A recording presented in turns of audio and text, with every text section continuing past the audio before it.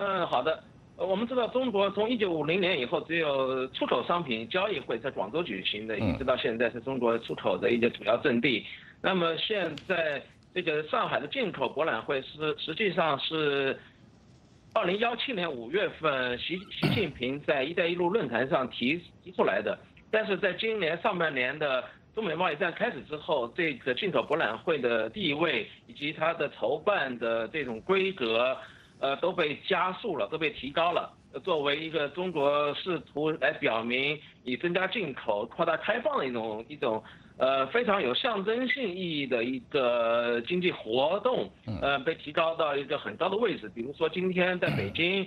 召开了一个中中央的政治局会议，专门在谈这个进口博览会，呃，把它抬到了一个政治高度，来来要求呃商务部、上海市政府要。呃，全力的办好，而且我们相信习近平可能会出席这次进口博览会，并且发表一个主题演讲，来阐述他对中美贸易战的一个看法。我相信这次看法可能是有相当的指标意义，来决定呃未来的嗯中共的四中全会十九届的四中全会，以及未来习近平和川普的峰会的一些谈判的基调。